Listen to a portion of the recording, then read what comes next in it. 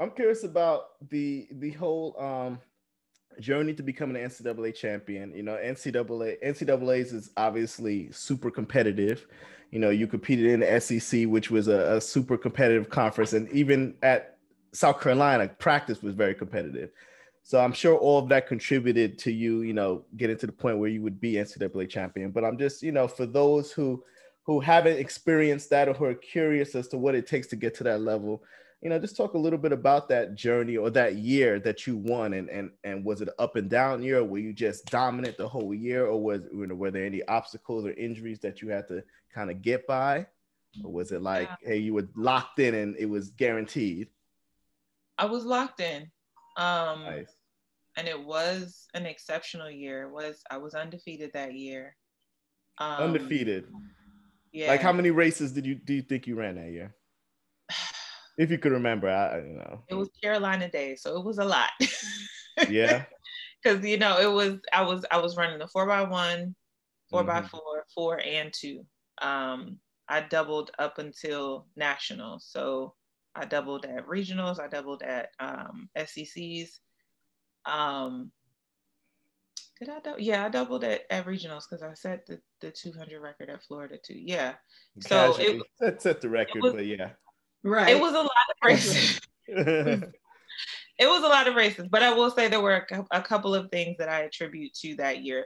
The sophomore year, um, I had bursitis in I had I had an injury my freshman year, an injury my sophomore year, but sophomore year that injury was the one that like really sat me down.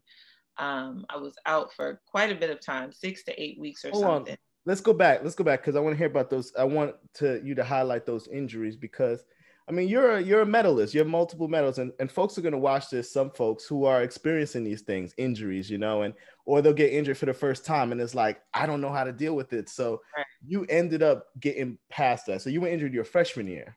Yeah, and and I, so I pulled my quad in the final of the indoor 400.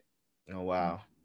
And it was literally like I came out of the blocks took like three or four steps, um, and my quad just went. Wow. Um, so I was out for a while with that. That's disappointing. Um, man, and at it was NCAA's, yeah. At NCAA's. Um, and let me just like also talking about so I graduated high school 5204. I went into that final with a PB of 51.8. So Ooh, like I was exciting. like yeah, like ready to go, you know? Um, so that happens. We go to outdoor NCs. I play sixth.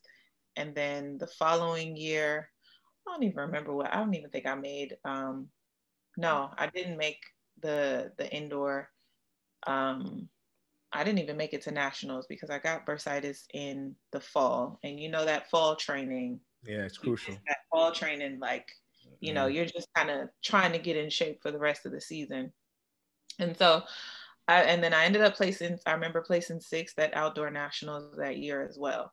And then my junior year, I went into it like, okay, I've come off of two seasons of being injured and things not necessarily happening the way that I planned for them to happen. And I also came into Carolina with the plans of like, I'm studying exercise science. I want to become a chiropractor one day. So I was like, maybe I'll shift my focus to that. Oh, right. Wow. Like mm-hmm. I'm, I'm for whatever reason, I just can't stay healthy. And I, I had a couple of injuries in high school too. So there was a combination of, so a feeling like my back was against the wall in terms of like, I've been so injured. It's been so bad it can't get any worse. But also feeling like there's no pressure now because it was like i was you know kind of down there. Um and then also saying that i'm kind of shifting my, my focus to my studies a little bit more. But then also my junior year was also my introduction to sports psychology and sort of tapping into training my mind as well as training on the track. And it literally it, it got to a point in the season i mentioned the season was it was an undefeated season by the time we got to outdoors every single race that I ran in the quarter was a PB.